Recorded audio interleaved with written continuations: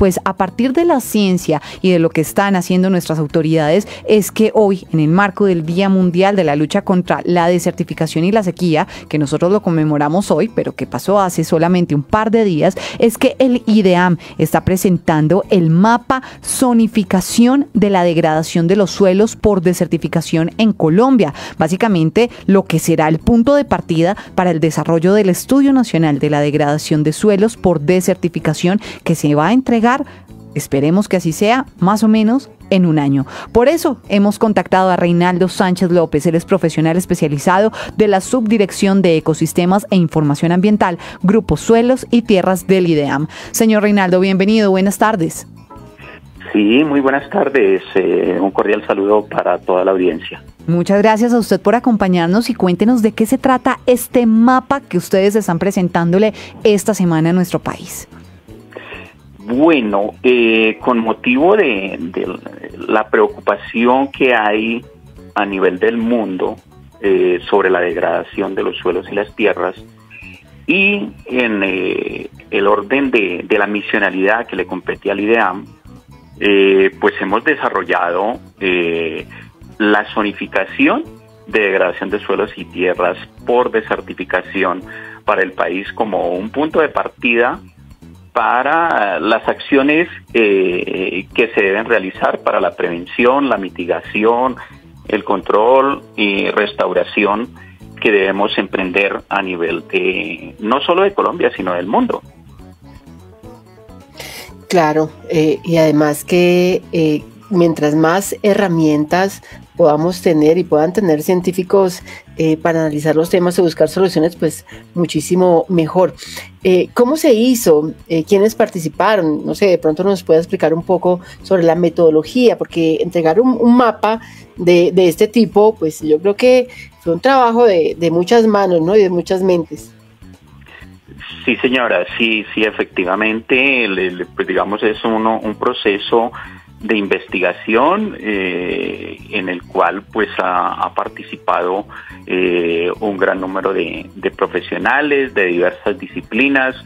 Eh, entre otros tenemos los agrólogos agrónomos ingenieros forestales ingenieros ambientales ingenieros catastrales eh, sí, y otras disciplinas, eh, por supuesto, que, han participado y, en los cuales pues eh, se ha utilizado tecnología de, de, punta, ¿sí? Entonces, que está la vanguardia, como lo son los sensores remotos, el tema de la interpretación de imágenes de satélite, los trabajos del campo, los trabajos de laboratorio, Sí, entonces con pruebas eh, eh, que determinan eh, y nos ayudan a, identificar todo este este tema, sí, y pues digamos sobre una base conceptual muy sólida, sí, y que partimos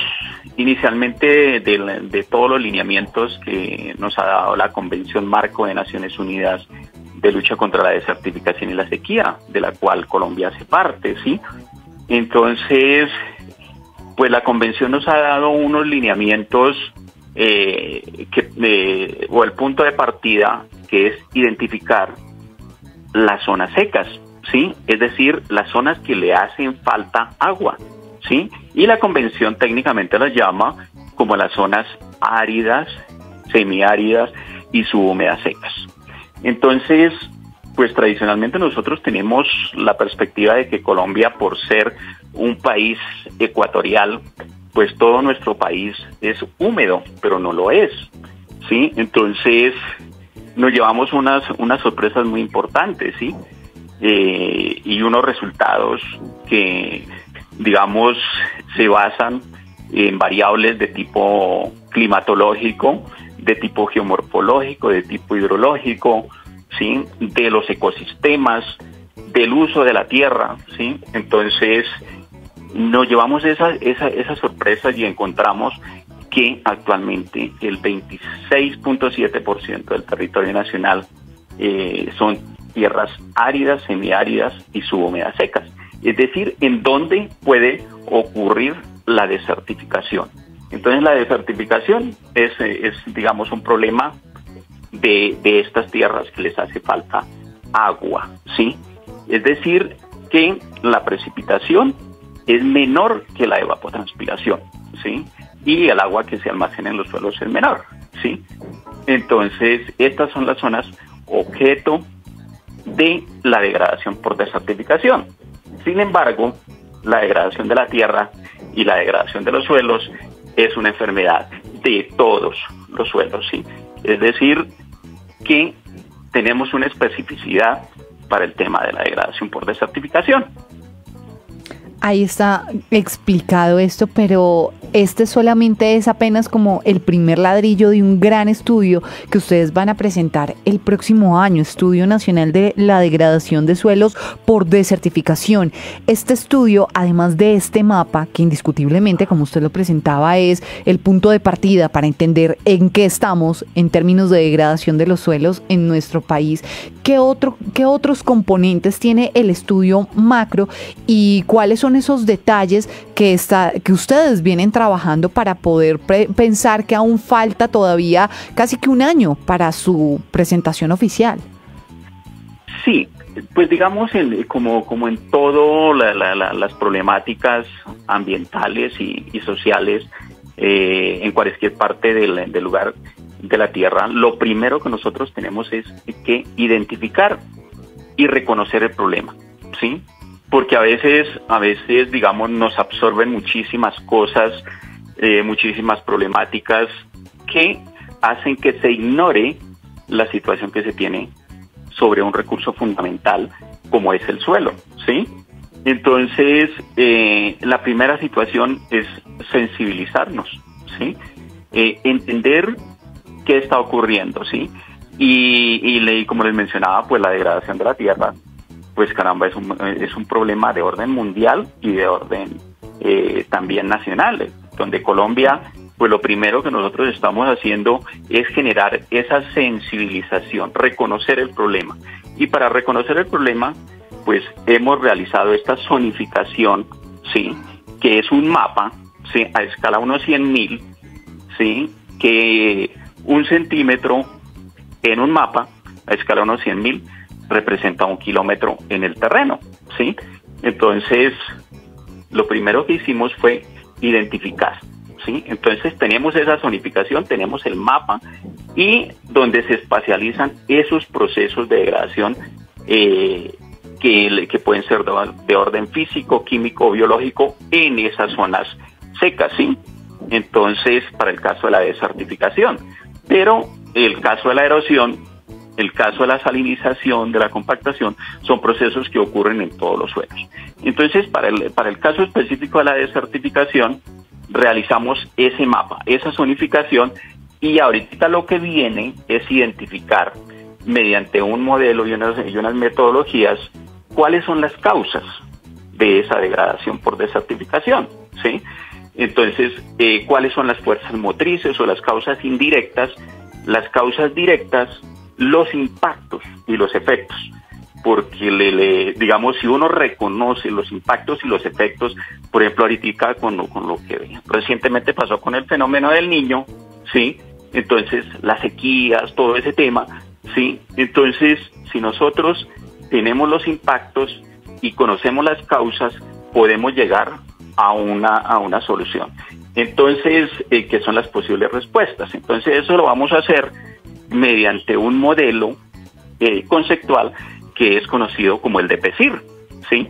que es eh, F de las fuerzas motrices indirectas, las causas eh, directas, los impactos, el estado y las respuestas. es un modelo conocido a nivel mundial y propuesto por la convención, que es el, el, el de PESIR o el FPIR que nosotros eh, conocemos, ¿sí? Entonces, nosotros en este momento tenemos identificado, tenemos la zonificación que por lo que le presentamos el día lunes al país eh, sobre el estado actual de la desertificación y lo que continuamos es para establecer esas causas, tanto directas como indirectas, los impactos y las posibles respuestas.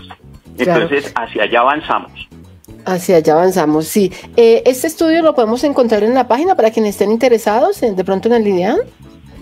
Sí, señora. Entonces, desde el día lunes eh, que se realizó el lanzamiento de ese mapa, de ese primer mapa de escala 1 a 100 mil, entonces está disponible en, en el portal del, del instituto, ¿sí? Entonces ahí en el, en el portal pues tenemos un, eh, un módulo específico que es el, el geoportal o visor y ahí lo podemos descargar. Perfecto, perfecto. Entonces, para los interesados, entrar a la página del IDEAM y encontrar allí este, este mapa importantísimo. Esto eh, con miras a todo lo que se va a realizar para el año entrante. Pues don Reinaldo Sánchez López, profesional especializado de la Subdirección de Ecosistemas e Información Ambiental, Grupo Suelos y Tierras del IDEAN. Muchas gracias por su tiempo, por haber sacado esos minutos para nuestra audiencia y hablarnos de este tema tan importante y tan necesario. Muchas gracias. No, señora, con mucho gusto y gracias a la, Radio Nacional por su preocupación y, por tenernos y abrirnos esta oportunidad para reconocer la importancia de nuestros suelos y, la problemática que tienen nuestros suelos y, la base fundamental que es para la sostenibilidad del planeta y de, y de toda nuestra sociedad. Muchísimas gracias a ustedes. A usted, muchas, muchas gracias. Dos de la tarde, 59 minutos. Ya vienen las noticias más importantes de la última hora en Colombia y del mundo y regresamos.